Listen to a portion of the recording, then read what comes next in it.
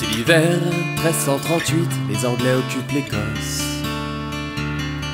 William Montagu en élite attaque Dunbar en force.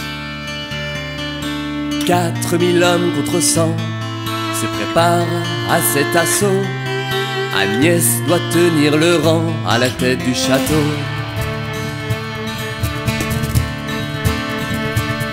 Les premières pierres sont lancées, le bilan est dérisoire. Agnès en est protégée par ses puissants remparts. Alors pour narguer l'ennemi, elle dépoussière sa muraille. Par ce geste plein d'ironie, elle commence la bataille.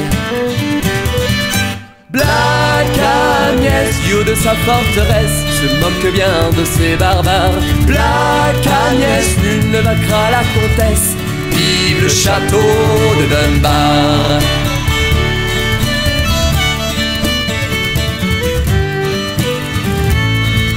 Réponse à la comtesse, William ordonne sans pitié d'exécuter le frère d'Agnès qui détient prisonnier. L'Écossaise a dû répondant, elle se rit bien de son chantage. Allez-y, tuez-le maintenant, j'en toucherai l'héritage. Black Agnès, dieu de sa forteresse, se moque bien de ses barbares. Agnès, nul ne vaincra la comtesse. Vive le château de Dunbar.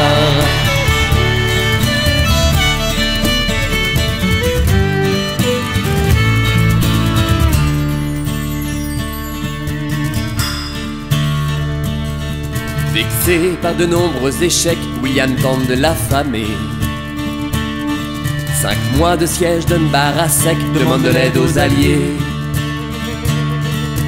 Grâce au soutien naval, ravitaillé en secret, Agnès méprise son rival et lui lance du pain frais.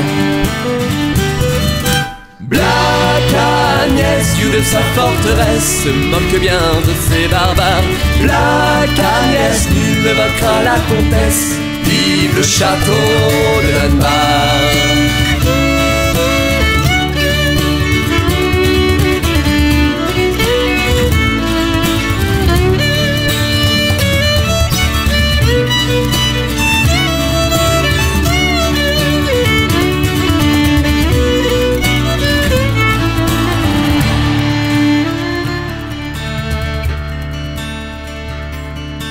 Face à cette humiliation, les Anglais sont abattus.